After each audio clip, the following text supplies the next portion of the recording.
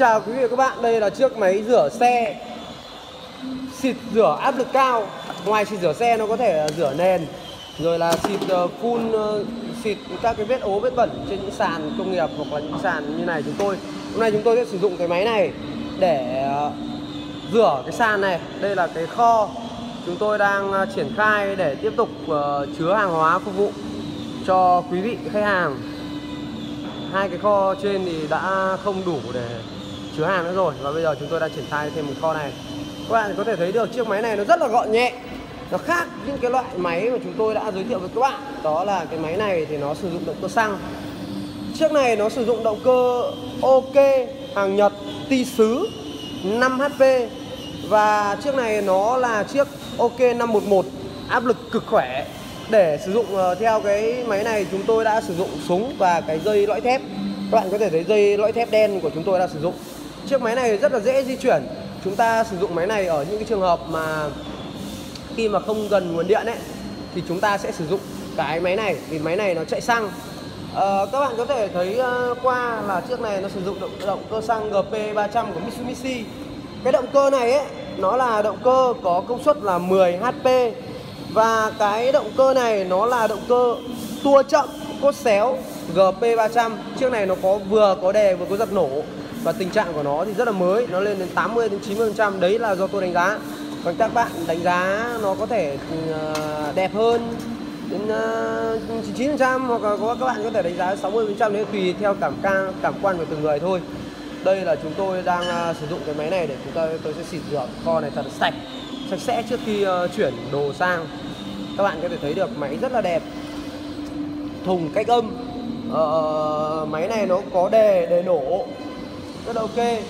Nếu các bạn uh, sử dụng cái này trong những công trường hay là trong những cái mỏ đá hoặc là rửa quặng rửa tiếp thứ rất, rất là hay. Con này áp lực mắc của nó là 163 các bạn nhá. Đồng hồ áp này các bạn có thể thấy được 163 và chiếc này nó có áp tự động tức là khi chúng ta bóp cò thì máy nó sẽ phun à, nước nó sẽ phun ra. Và khi khi mà chúng ta dừng lại không bóp cò xịt nước nữa thì cái nước hồi nó sẽ theo cái đường hồi này. Các bạn có thể thấy được cái đường hồi này đây là đường cấp nước vào đây là đường ra và đây là đường hồi.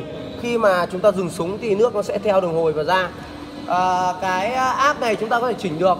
À, nếu mà các bạn sử dụng bình thường thì tôi khuyên các bạn nên sử dụng với áp lực khoảng tầm 130 từ 80 đến 130 để đảm bảo cái máy nó vận hành ở mức độ bền bỉ nhất.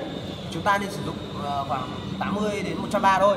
Ok với ở cái máy này thì nó rất là khỏe. Để khỏe như thế nào thì chúng ta sẽ cùng xem chúng tôi sử dụng ra làm sao? Ok. Ôi giờ từ sửa nốt em ơi. Các bạn sẽ thấy rất là phấn khích với cái máy này.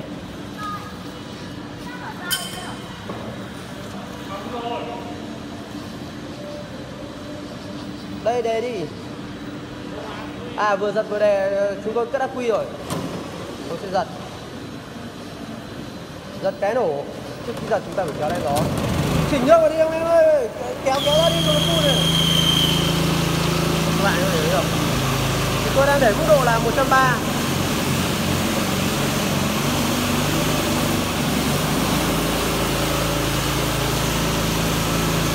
quá khỏe. Kia nhá chúng tôi vẫn để cho hồi, các bạn thấy là nước vẫn hồi nhá. Nếu mà chúng ta sẽ chỉnh mắc ba thì nó sẽ không có nước hồi nữa. Đây là nó vẫn hồi. Các bạn thấy không? Nước vẫn hồi. Em xoay úp xuống. Úp xuống, gạt, đẩy xuống. Đẩy gáy xuống. Gập đấy, rồi. Các bạn thấy áp lực sức khỏe. Đây, chúng tôi vẫn để cho hồi này. Vẫn để cho hồi, các bạn thấy được hồi không? Vẫn hồi.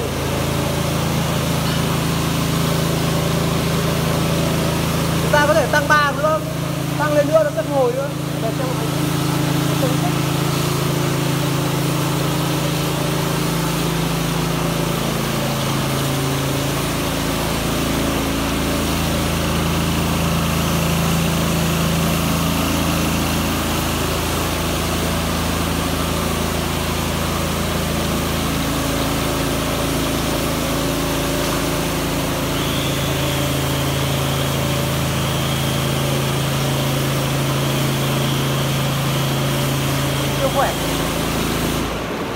bạn thấy không khi mà ngắt này.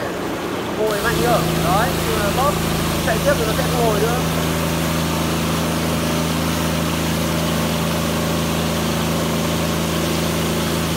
quá dã man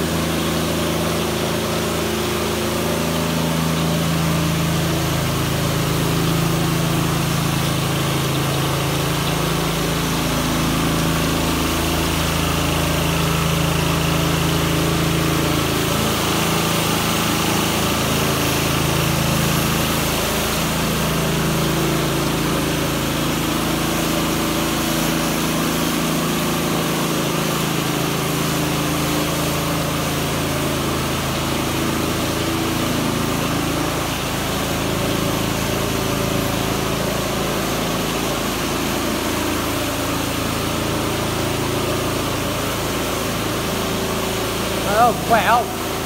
Quá khỏe này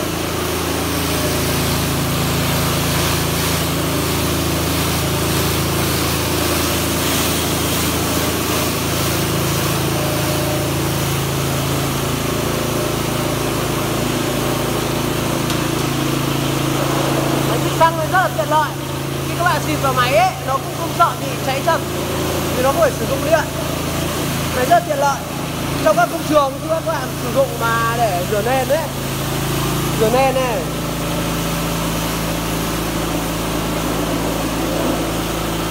Quá tiện. Này, chuẩn chưa? Các bạn thấy chưa?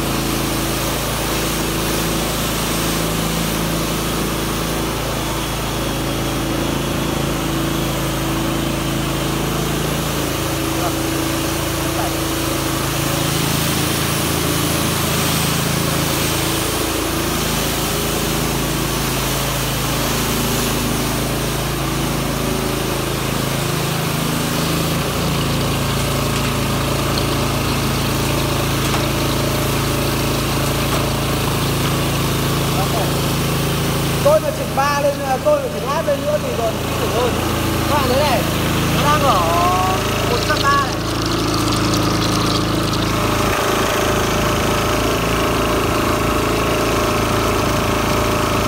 trăm ba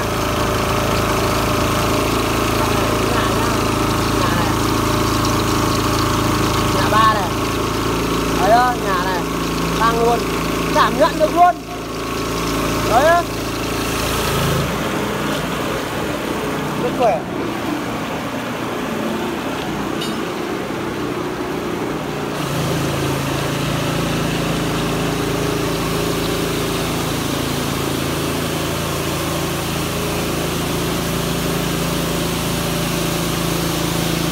rất khỏe